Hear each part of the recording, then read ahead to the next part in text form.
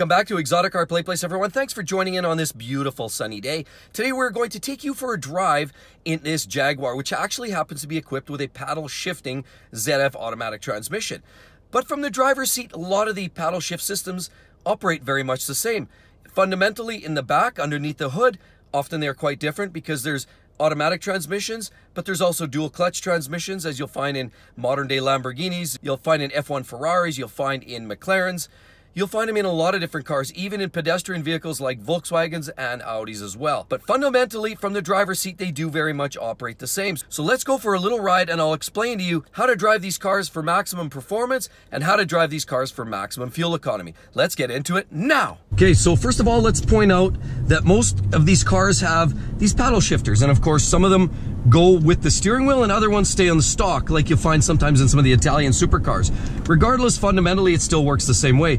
Right hand side, up, up, up gears, down, down, down on the left hand side. So that's pretty straight, straightforward. Now, if you want to drive for performance, the thing you got to remember is you want to keep the RPMs up because the higher the revs, the more horsepower you're getting out of the engine. The lower the revs, you'll get more torque, but you're basically losing performance in terms of acceleration.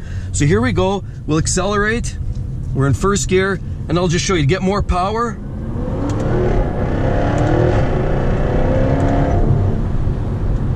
So there you have it. So basically, to get the maximum performance, you're accelerating and you're letting the revs go a little higher. Now, if you want to get better fuel economy, so we're on the highway now, as you can see that we're on the highway, so what that means, you probably want to shift up. And you know, at 2000 RPM, for highway driving, that's okay for if you want to do a little passing, you want to use you know, a couple thousand RPM. But now we're on the highway, see, now automatically it shifts down because the transmission electronics knows better. So you can also do that yourself. So if, say you want to go for a pass, now you're at this rev, pull a down gear, see it downshifts, and now what you can do is accelerate, and you can upshift once you're past that slow traffic, upshift again. Now I'm in seventh gear. Of course, you can see we're at 1500 RPM. That's where you want to be for economy. Shift up one more, and it drops it. Now we're getting maximum economy. Say you want to go for a pass again, pull the lever one time. Is that enough revs? Not so much for real acceleration. How about one more? Maybe one more. See now, you keep pulling on the downhill gear, and of course now it gets the revs higher. When you pull it down, you downshift, that means the RPM comes up. When the RPM comes up, you develop more horsepower from the engine. So often coming out of corners, you always pretty much want to have your revs up a little bit. You don't want to be coming out of a corner with revs like this. So you want to downshift. We're going into a corner. We signal. Of course, downshift again. We're in second gear. Now we're at 3,000 3, RPM. That's a good place in terms of revs to come out of a corner nice and hot so that you have enough acceleration to clear an intersection or even just to get out of the hole really quickly. So we round the corner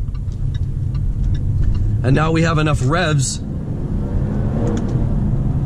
and there you go. So now we're cruising again. So now for economy, you basically, again, as I say, pull a gear, 2000 RPM, maybe not enough. Let's try one more. See, now we're at a place 1500 RPM, sometimes cruising at 1200 RPM, even in some cases on a highway, if you're coasting steady at 60 miles an hour, even 1000 RPM or 1200 is a good place to be for maximum economy. Now, of course, we go over here. You also have this option. Now you can manually shift. In this case, See the revs come up. Now you can pull the gear. It says minus plus. Most of these transmissions have this capability. So I'm gonna pull up, pull back to actually shift up. Watch, as I pull this, now the RPMs drop. I'm shifting up gears. One more. Okay, now we wanna go for acceleration. We definitely wanna push it forward and try it again. See, and now the revs come up. It's ready because the gears are lower. The RPM comes up. Again, with the lower revs, less power, but more economy. And again, as I say, if you want to accelerate, you want to downshift, go there. And now you got more power, just like that. So that's that. You can throw that back in auto mode. The beauty is with these sort of systems, with the dual clutches or the ZFs that are shiftable like you see here on the paddles, it gives you that capability. Now you can throw it in automatic mode. You don't even have to worry about it. The car pretty much takes care of it. It knows what the smartest moves are in terms of shifting up or down for maximum economy. Now, there are a lot of other electronics behind these systems that when you pull, in this case, a lot of cars have sport mode. This car here has what they call dynamic mode. Pull that back, And now, of course, it does other things. This is a Jaguar. You get red gauges, you get crazy exhaust sounds, but it also gets the transmission into a mode where it's more aggressive. It'll hold gears at a higher RPM before shifting up when it's in auto mode, or it'll just be more abrupt when you're pulling the gears. It'll be a little quicker shifting. It'll be more aggressive. The same rules apply. You want to go for performance, you definitely want to downshift. See, we're at 2200 RPM. Let's try one more. See, there you go. That your performance. But now you're like, oh, I just want to cruise and I want to just take it easy. Maximum economy, remember, pull the higher gears. So you want to up a shift and now you're cruising at about 12, 1300 RPM. Again, maximum fuel economy. You won't get the big power. Try to accelerate, you'll notice it kind of slugs. So when the same thing generally applies as a rule for manual transmissions, now these double clutches and ZFs that are shiftable simulate that. It's just the transmission does all the thinking for you. You don't need that left foot over there. If you have a problem with your left foot or you're just bored or you just don't like shifting a manual transmission, these cars can do all that for you. You don't have to deal with that left foot. But these give you, again, as I said, the flexibility of driving it in auto mode and it makes it nice and easy and comfortable for busy traffic. So another little trick is the engine braking factor. So if you're driving along at a low RPM like this, and you want to start slowing down, you're coming up to a stop sign, you can actually use downshift, downshift, and it'll help slow down the car. See, just like that, that actually slows down the car. And it, will save your brakes a little bit. I wouldn't downshift too aggressively. I mean, that does take a toll somewhere if you're doing that too, too overzealously, but see, we're in fifth gear at low RPM we can downshift. And that actually slows us down. Now you come up to a stop. This is the other thing I have to point out. You're coming up to a stop. I'm stopped, either that or a red light or what have you. This is an automatic transmission. Very important to know what kind of car you're driving. This car has an automatic, so it can be driven as an automatic. I can come to a stop. The car automatically throws itself in idle in basically neutral. It does what a normal automatic transmission will do, and you don't have to worry about any of this other stuff. See, you, it'll take care of itself.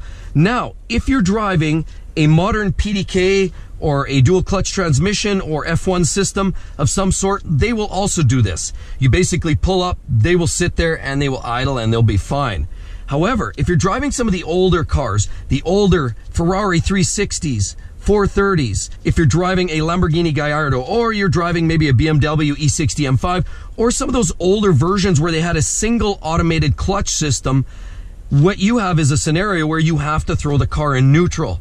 If you do not throw the car in neutral and you leave it in auto or you leave it in a gear and it might say gear one, what you're going to do is essentially burn out the clutch really, really fast. With the BMW M5, you basically throw this into neutral. With the Ferraris and the Lambos, generally often like the Lamborghini, you would pull both levers at the same time. And then that bang, it pops it into neutral and you'll no longer see a gear like one or two or drive, you'll automatically basically see neutral. And that's ultimately where you want to rest these vehicles at a stoplight because two minutes in gear in a Lamborghini Gallardo is enough for 10,000 kilometers of wear and tear on a clutch in the right circumstances. It's just not good. So you just got to know what type of car you've got. Modern day dual clutch, you're okay like this, just parking it, just pulling up in gear, you're fine. One of the older systems, you should find out what you're driving. Again, you want to throw that in neutral. Automatics like the ZFs or any of the other automatic transmissions, not a problem. You can basically just leave them as is. It'll pull up, whether it's in park. I can throw that into gear. We're okay in drive. Uh, we can switch that over to sport mode. It can sit in this mode. You can also put it into reverse and it's okay there too. We can sit here for a minute or so. Not generally going to do a lot of damage to these cars. Thanks a lot, everybody. Thanks for joining in. Much appreciated. Please, if you could, hit that subscribe button down there to the right-hand side, as well as don't forget to hit the notifications bell right next to that. It's going to let you know when the next great video's out. Over there, a link to one of my most popular videos of all time, the BMW key fob video. I hope to see you guys real soon. Catch you then. Bye-bye.